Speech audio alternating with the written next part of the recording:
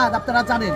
ওরা তো গুজব ছড়াতে উস্তাদ। ওরা একবার বলে তারেক জিয়ার সাথে আছে, আবার বলে তারেক জিয়ার সাথে আবার বলে তার মেয়ে দাঁড়াবে, আবার বলে তারেক জিয়ার ওয়াইফ দাঁড়াবে, আবার বলে মির্জা ফখরুই নাকি চেয়ারম্যান হবে।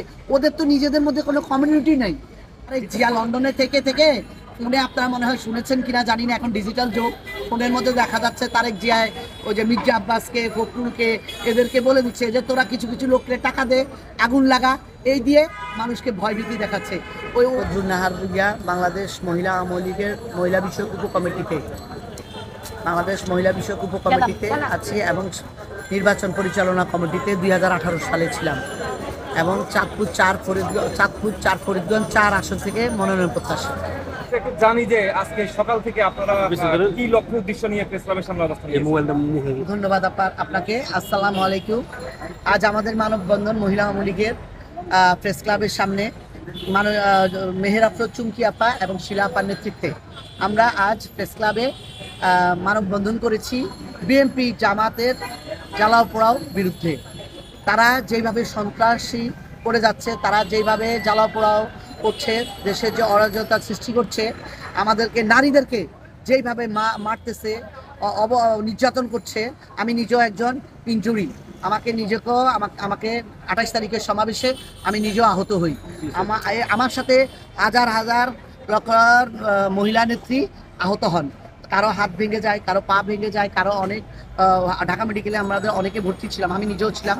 তো এইসবের বিরুদ্ধে এবং তারা যেভাবে পুলিশ মেরে হত্যা করে সাংবাদিক মেরে বাসে আগুন লাগিয়ে যে রকম অরাজকতার সৃষ্টি করছে বাংলাদেশের এইটার বিরুদ্ধে এবং যেভাবে অবরোধ, হরতাল দিয়ে যাচ্ছেন, এটার বিরুদ্ধে আমরা রাজপথে আজ মহিলা আমলি মানববন্ধন অবরোধ কি হচ্ছে? অবরোধ কোনো হচ্ছেই না। এই অবরোধ ওরা দিচ্ছে, ওরা মানুষকে আতঙ্ক ফেলার জন্য। আসলে এই অবরোধ কোনো অবরোধই না। আমরা এটা মানি না।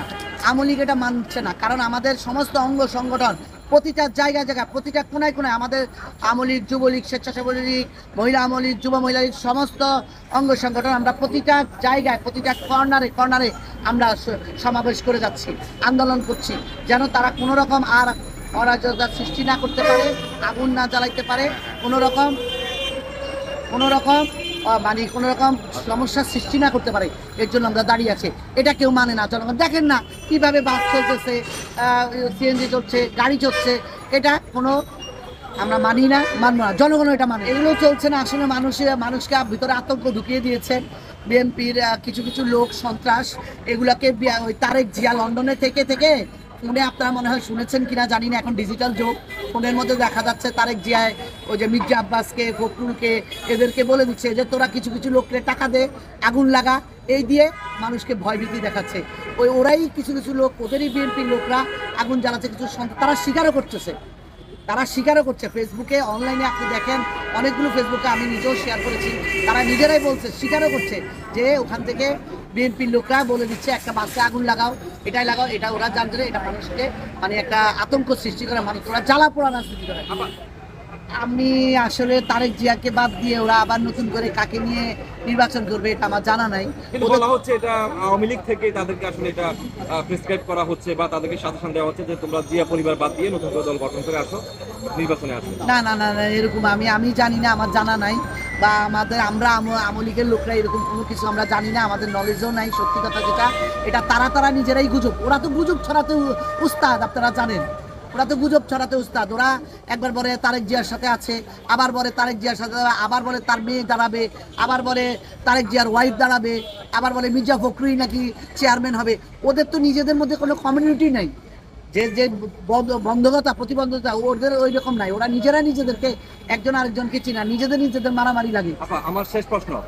এই যে কয়দিন পরে তফসিল ঘোষণা হবে, নির্ধারিত সময় নির্বাচন হবে, যেটি আপনারা বলছেন, আর কিন্তু বিএনপির পক্ষ থেকে পাশাপাশি সরকার বিরোধী আন্দোলন যারা, তারা বলছেন যে নির্বাচন হবে না। নির্বাচন নিয়ে আপনি কতটুকু আশাবাদী এবং আপনার দলের যিনি মাননীয় প্রধানমন্ত্রী, তিনি পুনরায় নির্বাচিত হবেন, এই নিয়ে আপনি কতটুকু আশাবাদী? ইনশাল্লাহ ধন্যবাদ আপনাকে এত সুন্দর একটা প্রশ্ন করার জন্য। নির্বাচন আমাদের, তফসিল সামনে আছে, নির্বাচন আমাদের যেই সময়ে ঘোষণা দিয়েছে আমাদের মাননীয় প্রধানমন্ত্রী জননেত্রী শেখ হাসিনা সেই সময় সুন্দরভাবে, সুষ্ঠুভাবে নির্বাচন হবে। এতে কোনো ভুল নেই। এবং তফসিল ঘোষণা ইনশাল্লাহ আমাদের হয়ে যাবে। চোদ্দ তারিখে হওয়ার কথা মাননীয় প্রধানমন্ত্রী জননেত্রী শেখ হাসিনা আজকে আসবেন। আসার পর নয় তারিখে আমাদের প্রোগ্রাম মনোনয়ন বোর্ডের সিদ্ধান্ত হবেন। সেই সিদ্ধান্ত অনুযায়ী যেইভাবে যেইভাবে হওয়ার কথা তফসিল ঘোষণা সেভাবেই হবে এবং নির্বাচন সেইভাবেই হবে। এতে কোনো বাধা দেওয়া দিতে পারবে না কেউ। মাননীয় প্রধানমন্ত্রী জননেত্রী শেখ হাসিনা আবার নির্বাচন ক্ষমতার থেকে আবার উনি ঠিকই নির্বাচন করে উনি ক্ষমতায় আসবে, ইনশাল্লাহ। এটা আমি আপনাদেরকে কথা দিলাম। ইনশাল্লাহ আমাদের প্রধানমন্ত্রী জননেত্রী শেখ হাসিনা থাকলে উন্নয়ন হবে, দেশে আরও অগ্রগতি হবে, দেশ আরও এগিয়ে যাবে, স্মার্ট বাংলাদেশে পরিণত হবে। এই কথা বলে আমি আমার বক্তৃতা শেষ করছি। জয় বাংলা, জয় বঙ্গবন্ধু। Thank you